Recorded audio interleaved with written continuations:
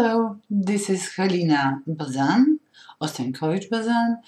I'm uh, welcoming you in my conversational English online course. I'm waiting for you and I am going to enjoy cooperating with you.